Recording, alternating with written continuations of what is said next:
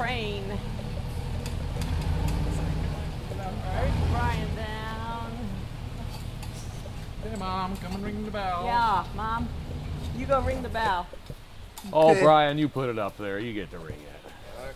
Yeah, sure. You might not want to stand underneath it, you know.